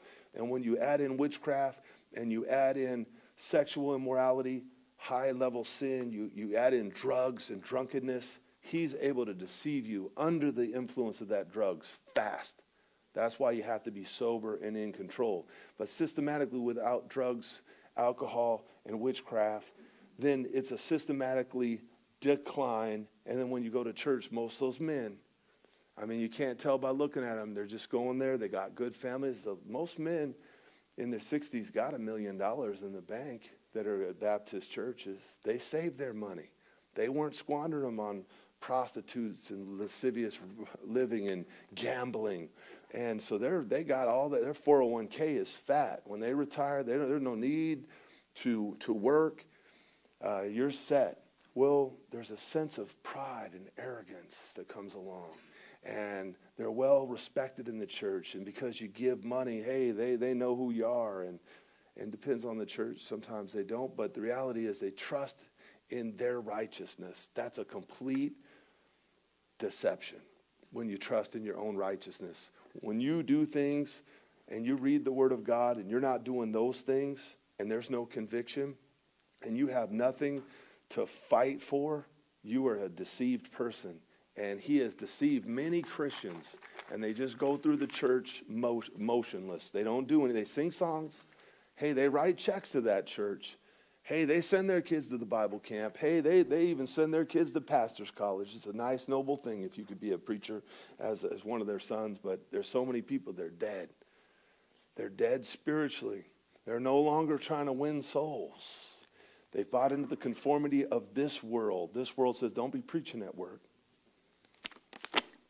Oh, you can't do that here. Oh, that's not dignified to get down on the streets, the highways and byways and get to preaching. Hey, that could be offensive doing it at the gym or the grocery store. Oh, they've been conformed into submission. And that's a dangerous place. Oh, that is a dangerous place to be in, to be deceived. But even deceived people, God will breathe on you truth. And you can make a move. Mercy will come for you. And if you'll reach out for it and you'll receive it and you'll fight for it, hey, you, you can be forgiven. Anybody that'll stand on the word of God can be forgiven. Anybody that will turn his back on the devil, uh, God will help you. Anybody who wants to use the keys of the kingdom of heaven can do it. Anybody who wants to build himself on Jesus Christ and his truth, he can do it because God's for you. But now we have to, we got to pull down and root out. How do you pull down and root out the devil? Is by forgiving yourself and forgiving other people. That's the number one offense. I'm going to look you all dead in the face. And someone's going to be on this altar call, most likely, and they're going to be blocked from getting deliverance, and they're not going to know why. And the minister's going to come up to you, and they're going to say, "Who do you need to forgive?" And you go, "Ah, you know, I, I've forgiven everyone. I don't know." No, that's called lip service forgiving. Jesus didn't tell you to do the lip service. He said, if you forgive from your heart, it's a, it's a, it's a heart issue. Why? That's why you didn't forgive them and you took an offense because they did something wrong. They said something negative. There was some betrayal. There was something evil that happened. That's why it was the offense. And you had time and you had mercy to take care of it. Or, like me, and how I ended up in here 14 years ago, is I would forgive from my heart, and then I would take it back when things wouldn't go my way. Or I would give it away again, I'd feel convicted, then I would take it back because he should do something right. Now I hear you're prospering, you should pay it back. And then I would give it again, and then finally it became lip service. Uh, you would have asked me, hey, have you forgiven everyone? I would have said 100% I forgive people. I know not to take an offense. I teach on that. I was deceived and I kept taking it back. That's what my heart was crying out to be served. The flesh was crying out to be served. Hey, I want what's right. I want to be justified. You owe me some money. You owe me an apology. You owe me a tear. You owe me something. And something isn't going to come because God's trying to tell you this is a spiritual issue and you have given place to the devil. So you need to understand in order to forgive what God did for you. Peter was a certified knucklehead. And you got to give it to the guy. I mean, he's got some knucklehead faith. He pulls out his sword. You got a bunch of thugs. I mean, these guys were the cops, military, all in one. There was 1% Roman soldiers to 99% civilians. So when you got to going, hey, what, what's the one you always see on YouTube? Uh, what's your right for pulling me over? You know, what, what, what, am I being charged with a crime? At, at that point, a ram came out and bam, cracked your skull. I mean, these dudes were rough. They, they nailed thieves on each side of Jesus to the right and left. And Peter pulls out his sword and he tries to cut this dude's head right in two, misses and cuts his ear off. Malchus. So he's got all kinds of fire. I'll never deny you, Lord. Denies him the third time with cursing. So he had all kinds of fire, but he had something in him. He had something in him that had to go. And once he got the Holy Spirit, he was saved. You know, Peter was saved at this time. They marveled when they went out and the demons were subjected to him. They came back and they told Jesus all the stories of casting out demons. He said, Don't marvel at the fact that demons are subjected to you in my name. Marvel at the fact your names are written in the book of life. His name was written in the book of life, so that means you're saved.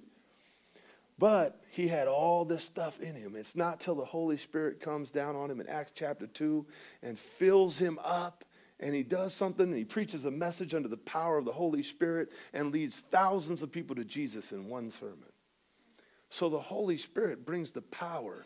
He brings the power of God's word. When you believe God's word, when you stand on God's word, the Holy Spirit, it, will resound in your heart. It, will he'll write it in your mind. It's powerful. It's life changing if you believe it is, if you want it to be. But a lot of people, they want to keep God at the distance where you can, I don't want to do this. I don't want to be over the top person. I don't want to be committed. I need my 401k. I don't want to be too committed. I got hobbies. And so they willfully reject and resist the Holy Spirit. You got to repent of that. And you got to repent of not forgiving people from your heart. You need to repent of not forgiving yourself from your heart. And if you do that, God will take all your sins and have the blood of Jesus applied, and it will wash them into the sea of forgetfulness. He will count them against you no more. If He counts them against you no more, and you confessed them, that means you, you wanted God to forgive you of them. You were turning your back on them. Now you know when the devil starts speaking any of those things which have already been paid for, it's Him. That's your first key to deliverance, you got to understand who He is and what He's saying and what's already happened between you and God so you can make your stand on the truth. I'll show you how to do it. Heavenly Father, we want to thank you for the revelation of Jesus Christ, your only begotten Son, in whom you sent approximately 2,000 years ago to be born of the Virgin, and who lived a sinless life we have a merciful and a faithful high priest that was tempted in every way that man can be tempted, but with no sin. He was the sinless Son of God. Thank you, Jesus, for laying down your life as a ransom on that cross of Calvary. Thank you, Lord Jesus, for pouring out your blood upon the earth for the remission of my sins. Thank you for your mercy. Thank you, Lord, that you defeated the devil. Thank you, Lord, that you rose Jesus from the dead on that third day. Oh, what a reminder. What a glorious reminder that one day we will rise from the dead. If we're alive, when you come back for the second time, oh, well, the dead will rise first, and then we'll be caught up in the sky to be greeted with them, and then we'll go on to be with you forever. Lord, that is the truth of the gospel of Jesus Christ. And we're so grateful that our names are written in the book of life because we believe, Lord. We believe, and Lord, we want to serve you, Lord. We don't want to just be going through the motions. Going through the motions got me sick. Going through the motions got me depressed. Going through the motions gave place to the devil, Lord. And I, I want to tell you that I'm sorry. I, I didn't put you first in all areas, Lord. Please forgive me of not doing that, Lord. And I'm telling you, I'm sorry, Lord. I'm sorry for being so lustful. I'm, I've, I've been living with these spirits for so long, they almost had me convinced I'm just a lustful, over sexual person. But I know that's a lie. I know that you give me Holy Spirit power to bring my body into subjection, that my body would be under my control. But no demon's going to be in control. He's got to be cast out demonic spiritual influence have to be cast out. I got to fight tonight, Lord. I got to be delivered from this poor self worth. I got to be delivered from this constant loneliness and depression. I got to be delivered from this witchcraft and sorcery. I got to be delivered from this financial poverty.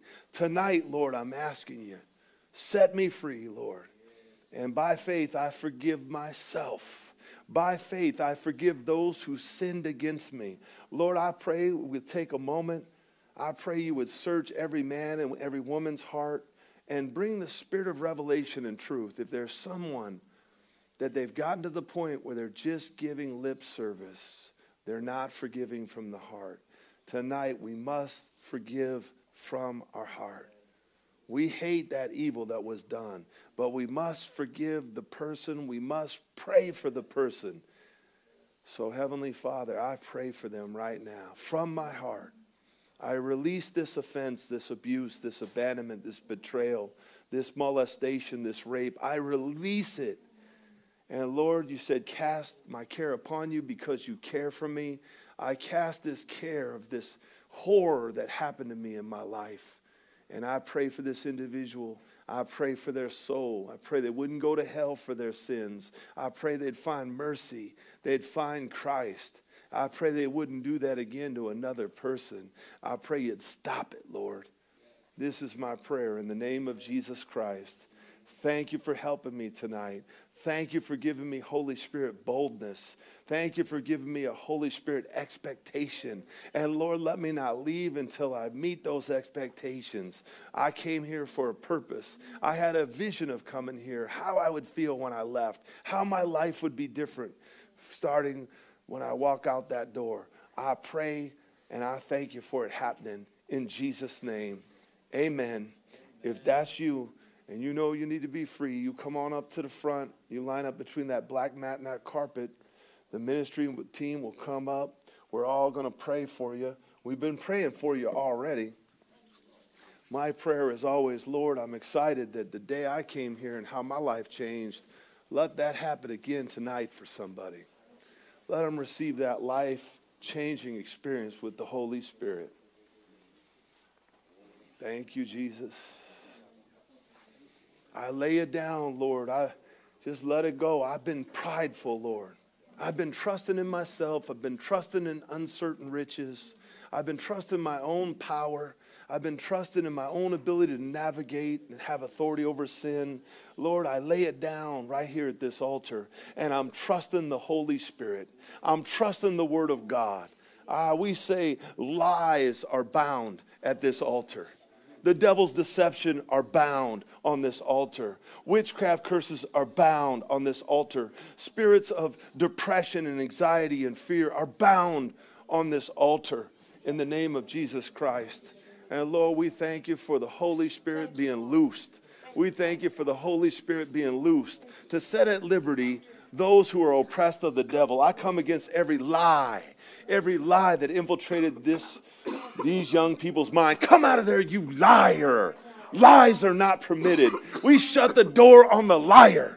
Satan, you are a liar. You have lied to this woman. You have lied to this man. I command you to come out, every lying devil, all that hardness of heart. You lying devil trying to harden their hearts. You foul devil telling them there is no hope, there is no future. I bind your power. You are not allowed here. I command you to come out in Jesus' name. I command you to come out, all lust, all lust and perversion. I charge you in the name of Jesus. You lust perverted devil, I command you to come out. Come out of there. He's not going to die in fornication. He's not going to die a slave to sin. I command you to come out. Come out of there. All that poor self worth from the porn, all that condemnation from the sexual sin. You come out of the man right now. Come out of there right now. Come out of there. Come all the way out of there right now. Come out of there. Keep going. Come out of there right now. Hold on. Come out of there. Come out of there, you foul devil.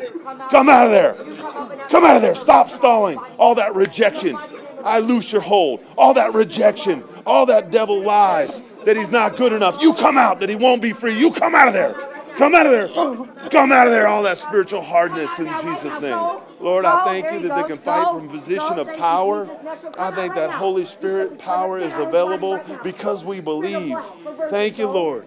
Thank you, Lord. Help us, Lord, to fight from power. Thank you for helping us, and we fight from a position of power. We are not slaves to sin. The Bible said we are more than conquerors through Christ who gives us the strength. We are more than conquerors through Christ. Come out of there right now. All that wounded heart, All that wounded heart, come out of there. Being wounded, being rejected, all the suffering from the lack of love, come out of there. All that suffering from the lack of love, come out of there right now. I command you to let the woman of God go. I command you to let her go. Come out of there. Come out of all that bitterness, all those satanic attacks. Come out of there. All that fighting. Come out of there right now. Come out of there right now. Come out of there right now. You get two more of those buckets. Come out of there. Keep going. They're coming. Come out of there. Come out of that brain. Come out of the fighting and quarreling. Come out. Spiritual complacency. Trusting in riches. Come out of there. The devil that told me I didn't have a call. My call was just to go to work. My call was just to be a righteous person. Come out of there. Come out of there right now in Jesus' holy name. We command you to get up and go. We command you to get up and go. Come out, that fighting and division. I command you to go. That fighting and division. I command you to go. In Jesus' name, I command you to go. Sir, don't swallow that bitterness. Come out of there. Bitterness towards my life, bitterness towards ministers, bitterness towards the Lord. That's all a deception. You come out of there. Thank you, Lord. Thank you for touching this woman. I thank you that today is the day. All the hurts, all the pain from her childhood, all the hurts and pains from her childhood, all the hurts and pains from those past relationships, all the hurts and pains affecting the body and the joints. Oh, we declare you're defeated, devil. I command you to come out right now, being exhausted spiritually, being exhausted spiritually. The devil that blinds her to say, Where's the hope? The Lord's not showing up. Oh, you're a liar, devil. You've been blocking the word of God. You've been blocking the miracles. You've been blocking the answer of God. You're a liar. And I command you to come out. I command you to come out. Take a nice big breath. Come out of there right now. I want you out of my body, devil. I want you out of my body. I'm sick and tired of going through the same cycle over and over and over again. I'm done with you. I draw the line in the sand. I say, You're bound in my life. Every lie that you put in my head in my childhood, every lie that you put in my head through my adolescence, I uproot it in the name of Jesus, the Son of God. And I command you to come out. I command you to come out. What do you think you need delivered from? What was your, what was your thought when you came up? You mentioned that uh, a lot of lies that come into the mind. Uh-huh. And I don't know specifically. Oh. And this is your husband? Okay, everything's going good at home. Your kids are good.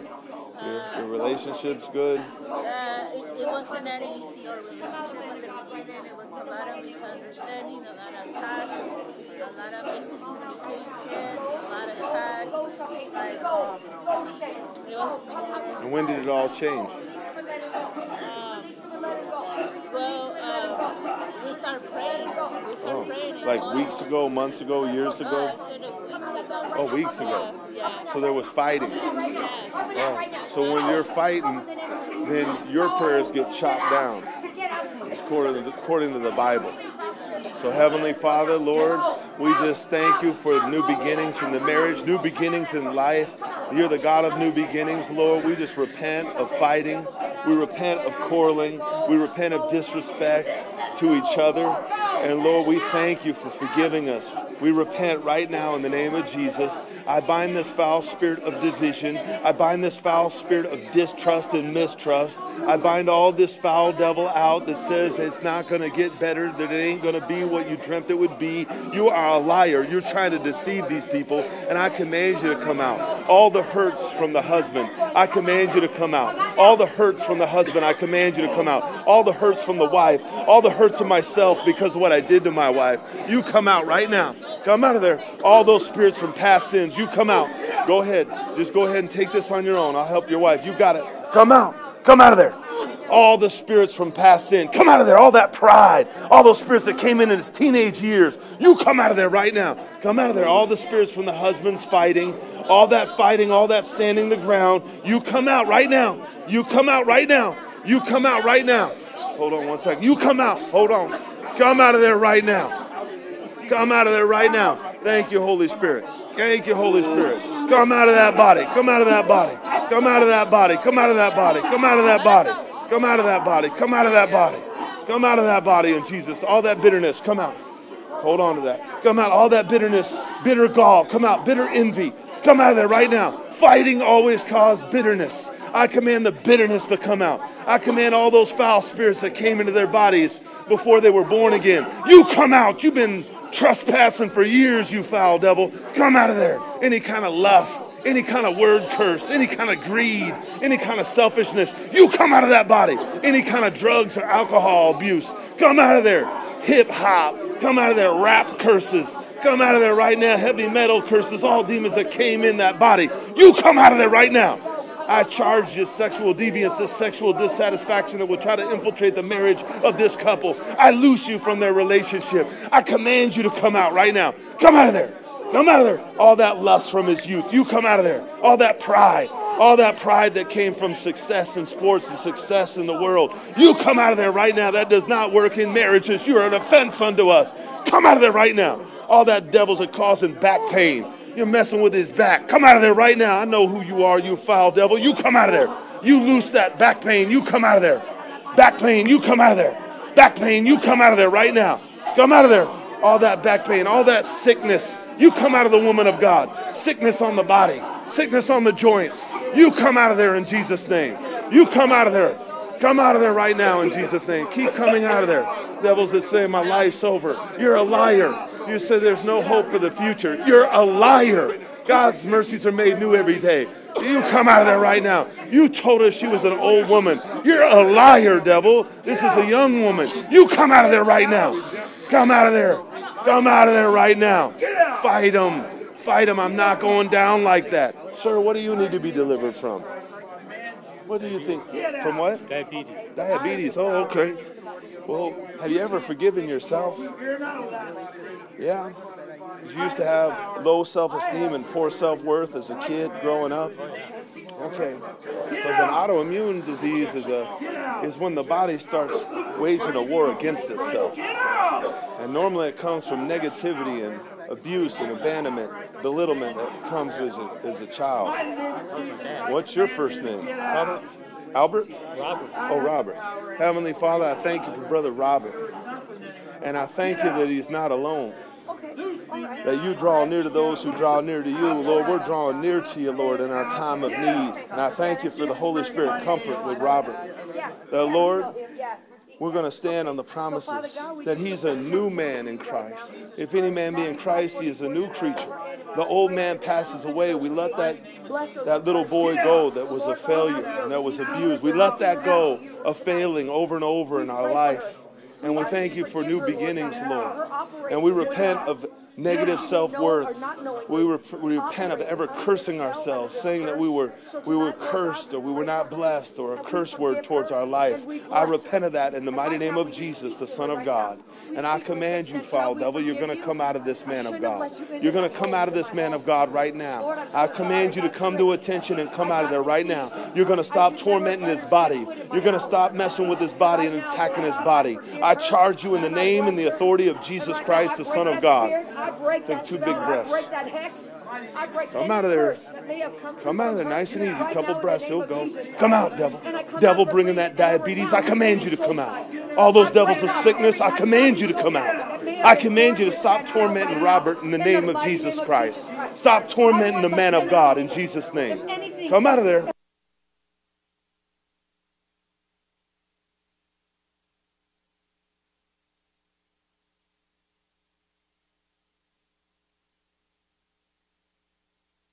Robert, you got a list of people that you have a hard time forgiving? In the name of Jesus. Nobody? Now, Chantel, you cancel your assignment. Yeah. When did you get born again? How old were you when you got saved? In the mighty name of Jesus. We cancel your assignment. We break off every witchcraft curse. Yeah, what's being been happening in those 25 ears right now years? In the name of Jesus Christ. Every fiery dart, every fiery arrow, every arrow of affliction. What was your ex-wife's first name? Come up and out right now. She's right here. Yeah? Have you forgiven her? Come out these Yeah? right No now in negative emotions towards her? What We happened? No negative the blood of emotion towards her or what happened in that power by God's relationship? It says it overtakes Satan by the the and the word of your testimony. You Yeah? filthy, foul spirit of deception and error, witchcraft. Break off of him oh. right now. Do you believe in Come off of his deliverance? Do you believe you got Break every band spirits? asunder off of his mind And you want him out? And every witchcraft curse right Okay, you gotta you gotta use the hate. You got to use the hate. operating in this Heavenly. Father, I thank you for the wonderful gift of hate. We break that I thank you that. Robert can hate the devil, that he can hate this sickness that's going to try to shorten his life. Thank you for the Holy Spirit power of hate to hate the wicked right now in one, to hate Jesus. You stop destruction, to hate deception. Oh, we use it right now in the name of. Jesus. Just speak to him, devil. I hate what you've been doing to me. I, I do not permit you to do this anymore. I hate what you've been doing to me. You are an offense unto me, devil. You are an offense unto me. You've been wrecking my life for years. I command you to come out of me. Start, start talking to him, Robert. Start talking to him. I'm done with you. Today I say I'm done with you. Today I believe is my day to be free from the wicked one. I command all this shame. I command all this humiliation. I command all this self disgust to go. Get out of that body in Jesus' name. Just tell him to go. Take a few big breaths, Robert. He'll go. He'll come right out in Jesus' name. Come out of there, shaky. Come out of there. Arthritis. Arthritis from bitterness. Arthritis from taking offenses. All that offense taking spirit. Being offended at classmates. Being offended at people and adults and pastors. Come out of there. That's a spirit of offense trying to get in those bones. I command you to come out. What else do we think we need to pray for? Yeah, so I, I, um, I want to pray for a specifically uh, for poverty, you know, the spirit of poverty, because I feel like there's a lot of arguments besides about the class and Can you say? immigration and then- Can you said spirit of arguing? no, as besides of uh, uh, the arguments that we Oh. had because of our frustration, frustration, no trust, and, and but it was, uh, but recently we've been fighting for more finance, no money. Oh, okay. You know, it, it, it's even attacked financially. have a business even. Yeah. Okay. it's financially where there's a lot of uh, Okay, let's pray for that. Well, Lord, we know that the plans that you have for us is that we would prosper and be in good health, even as our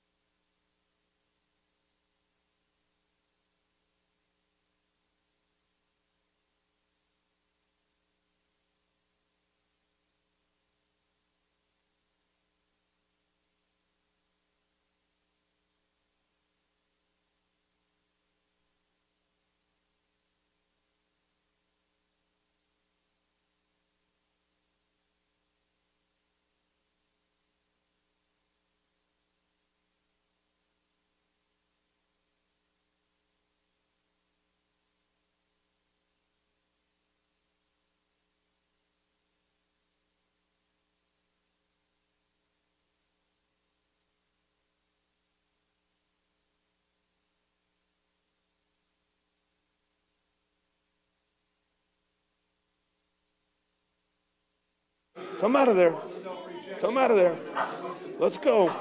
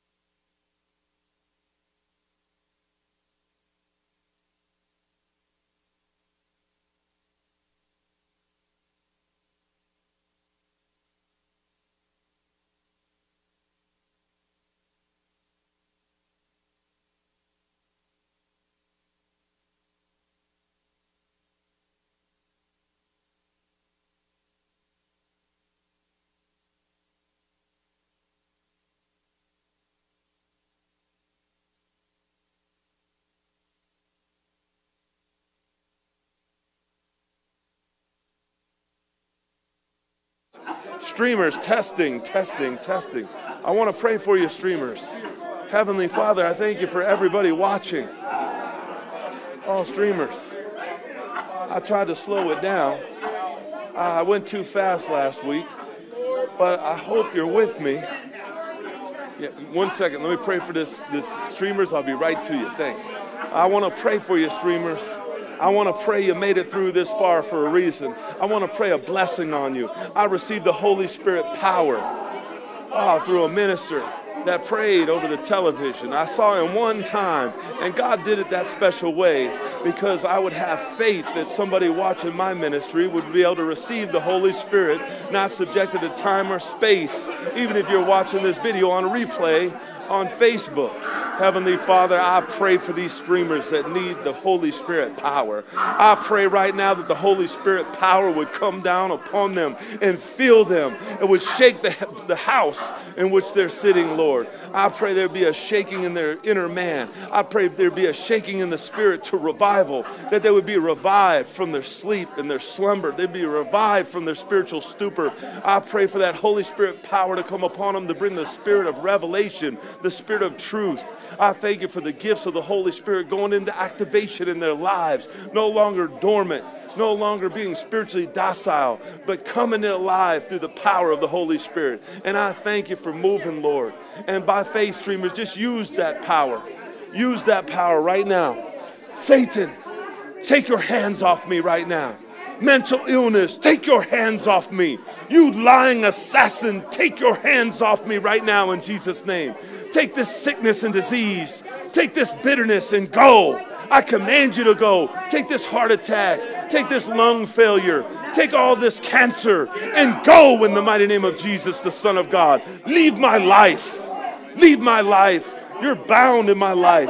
You're an offense to me. Oh, I'm standing on the Word of God. The Word of God is loosed in my life. The Word of God is loosed in my life. Devil, stop lying to them.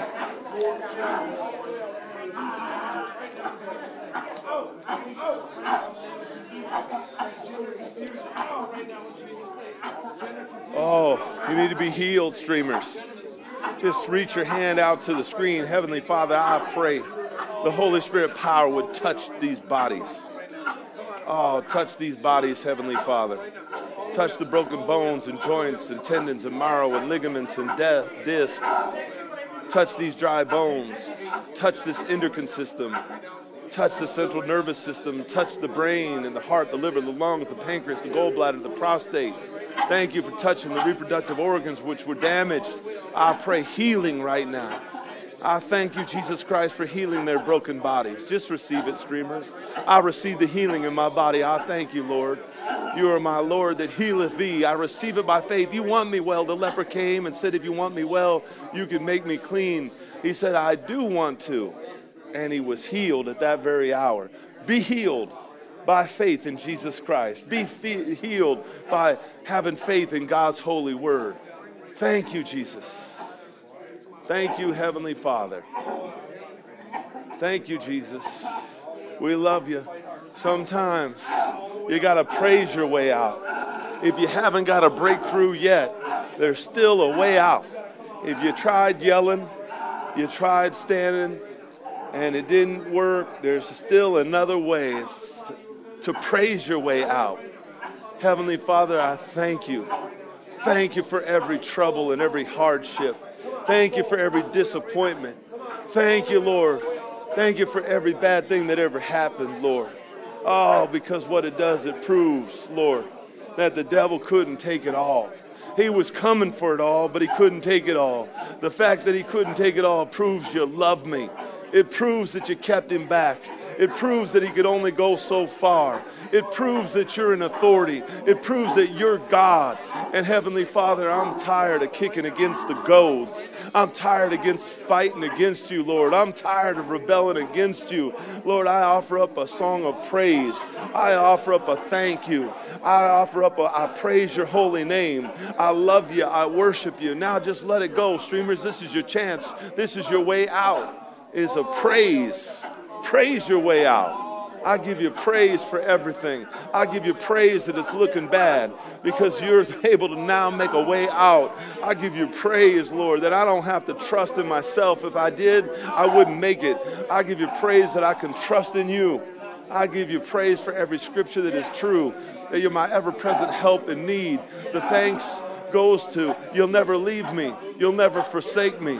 Oh, you promised to finish what you began. For that, I say thank you, Lord Jesus. Thank you, Lord God. Hallelujah. Hallelujah and amen. Streamers, we love you. Brother Mike, somebody will be back tomorrow preaching. Same channel, same time, tomorrow. God bless you. And thank you for your prayers for us. Amen.